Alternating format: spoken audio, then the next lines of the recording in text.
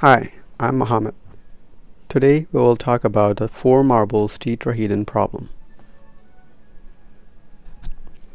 This is a top view of a regular tetrahedron created by four marbles.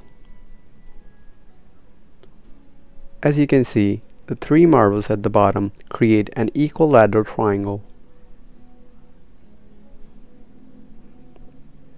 Each marble has a diameter of one unit.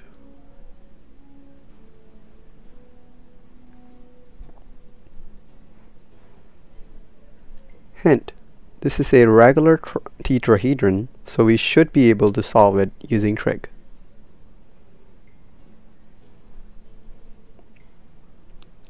As we know, a triangle has up to 180 degrees and this is an equilateral triangle.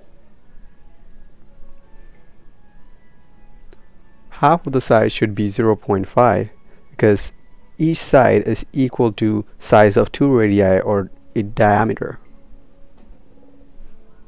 Using trig, we can solve for the hypotenuse. Please pause the video at any time. Now, we can build up a new triangle.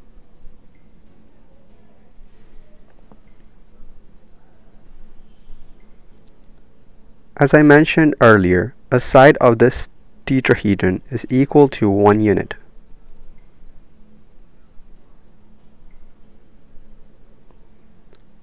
By using Pythagorean theorem, the height comes out to be root of 2 over 3. Inspired by Professor Kallend's material science class at IIT.